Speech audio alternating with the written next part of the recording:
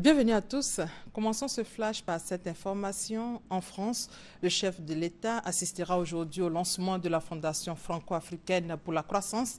La Fondation franco-africaine pour la croissance a pour objectif de consolider les liens entre la France et le continent africain. Rappelons que pour prendre part à ce rendez-vous, le président et son épouse ont quitté Abidjan pour la France le mercredi sur invitation du président français François Hollande. Intéressons-nous à cette visite de travail du Premier ministre. Daniel Kablan-Duncan était sur le site de la mine d'or de Tongon dans la région de Korogo.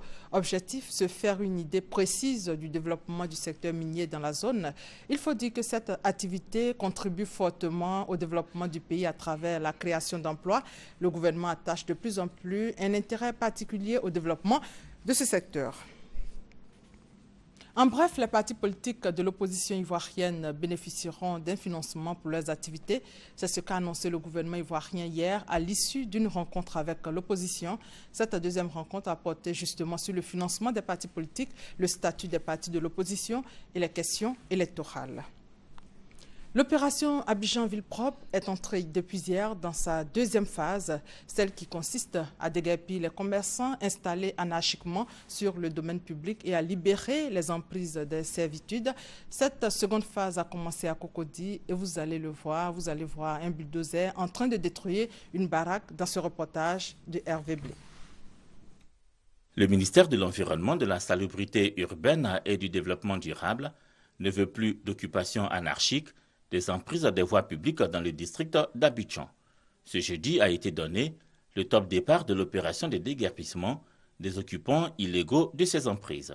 Exactement, il s'agira de déplacer ou démolir quand c'est nécessaire les installations que certaines personnes, généralement des commerçants, ont, ont placées sur le domaine public qui créent l'insalubrité, qui créent le désordre surtout les installations qui sont sur les carnivaux, qui, entraînent, qui bouchent les carnivaux et qui entraînent aussi les inondations dans la période de pluie, d'ailleurs qui vient de commencer.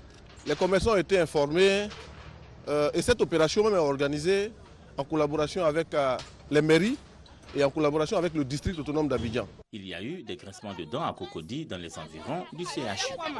Prétestant n'avoir reçu aucune mise en demeure, les commerçants ont même tenté de s'opposer à leur déguerpissement en refusant de laisser passer les opérateurs de la salubrité. Rien n'a pu freiner la détermination du ministère de l'Environnement, de la salubrité urbaine et du développement durable, qui souligne avoir respecté la procédure requise en matière de déguerpissement. L'opération de déguerpissement qui commence par Cocody, Yopougon et Adjamé va au final toucher l'ensemble des communes du district d'Abidjan.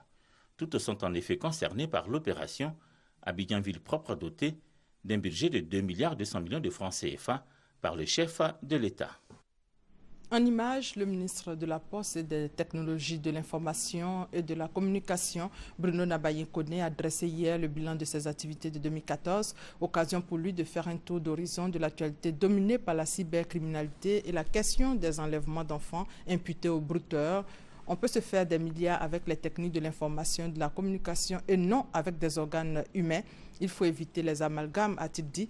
Bruno Nabaye Kone a aussi souligné que pour une mauvaise qualité de service, quatre opérateurs de téléphonie mobile vont bientôt disparaître. Anne Ouloto, elle, prône la tolérance zéro contre l'excision. L'excision est la plus pratiquée en Côte d'Ivoire. 38% des femmes de 15 à 45 ans sont excisées dans le pays. Le phénomène doit prendre fin. Message du gouvernement traduit ici par la ministre de la Solidarité, de la Famille, de la Femme et de l'Enfant. Message relatif à la commémoration de la Journée internationale de lutte contre la pratique. Et le président de l'Assemblée nationale a été reçu par le président de la Guinée équatoriale. Les deux hommes ont échangé sur les questions politiques de leurs deux pays. Obiangema a félicité Guillaume Soro pour leur qualification à la finale de la Cannes 2015.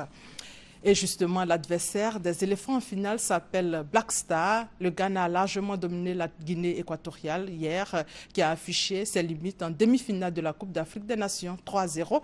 La rencontre a été interrompue près d'une demi-heure à cause d'incidents en tribune en deuxième période.